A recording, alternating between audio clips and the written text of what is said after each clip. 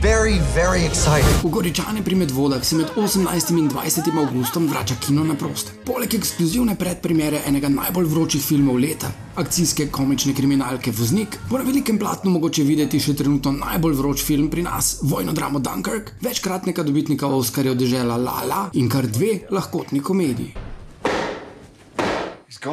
Tega raje ne poskušajte doma. Vsako popoldne v Ginu na prostem spremljal tudi otroški kino s projekcijami ob 17. in 19. uri v dvorani, s pestrim izborom sinhroniziranih risank za različne starosti iz vsega sveta.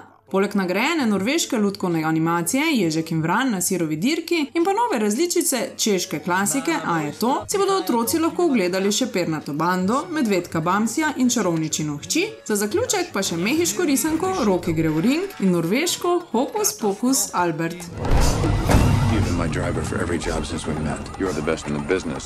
Film Voznik je posnet v ritmu glasbe za pobeg iz bančnih ropov. To je tudi poklic glavnega junaka, ki natančno načrtovane vožnje prilijo v seznam pesmi na iPod. Glavno vlogo je prevzel najstniški dol Ansel Elgort, ob njem pa igra še množica zvezdnikov, med drugim Kevin Spacey, Jamie Foxx, John Hamm in Lily James.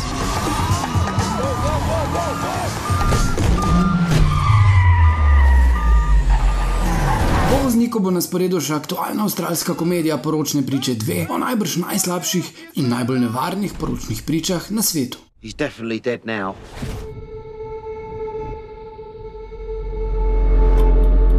Zadnjih nekaj tednov najbolj gledan film v državi je vojna drama, kot je še nismo videli. Režiser Christopher Nolan je povedal, da se v prejšnjih filmih, kot so trilogija o Batmanu, Izvor in Medzvezdje, zgolj uči obrti, da je lahko posnel Dunkirk. Zgodba je postavljena na obale naslovnega francoskega mesta, kjer je bilo na plaži obkoljenih 400 tisoč zavezniških vojakov. Evakuacija Veliko Britanijo pa je potekala prepočasi, dokler se kraljevi mornarici niso pridružile stotine ribiških in domačih bark. Dunkirk je postavil nove standarde vojnega filma in je prvi veliki kandidat za Oscarje.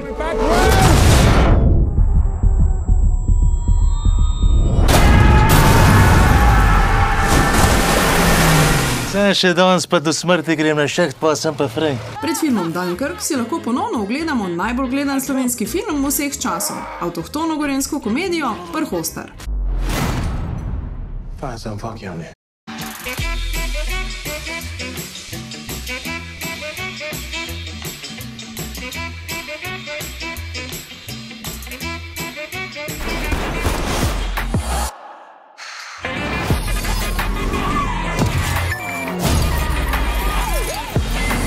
shit is bananas, dog.